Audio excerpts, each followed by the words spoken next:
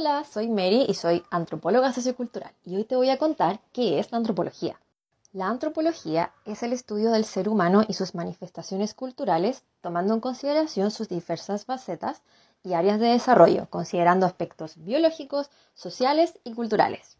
La palabra antropología se divide en dos. Viene de la unión entre la palabra en griego antropos, que significa ser humano, y la palabra logía, que significa conocimiento. Si juntamos ambas, es conocimiento sobre el ser humano, es decir, estudio sobre el ser humano.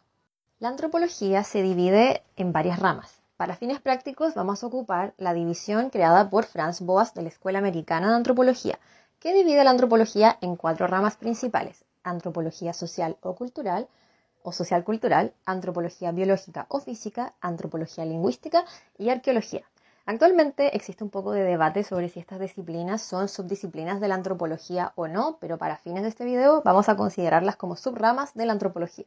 La antropología sociocultural o social o cultural, que es la que yo ejerzo, es la que estudia a los seres humanos del presente, entendiendo que la forma en la que estos se desenvuelven o desarrollan está definida por la cultura y o la sociedad en la cual habitan o de la cual pertenecen.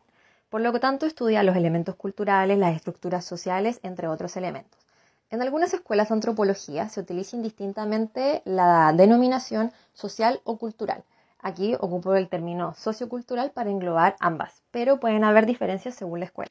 La arqueología estudia a los seres humanos del pasado remoto o reciente a través del estudio de su cultura material. La arqueología busca entender las continuidades, que es en el fondo conocer y comprender los comportamientos culturales de las poblaciones del pasado y las disrupciones, que es cómo se dieron los distintos cambios culturales en estos grupos remotos. La antropología biológica o física estudia la variabilidad biológica de los seres humanos incorporando elementos bioculturales, evolutivos y ecológicos. En el fondo estudia a los seres humanos del presente o del pasado vinculando lo biológico con lo cultural. La antropología lingüística estudia las expresiones culturales humanas a través de la lengua. Entiende las lenguas como un elemento para entender las expresiones culturales, así como expresiones culturales en sí mismas.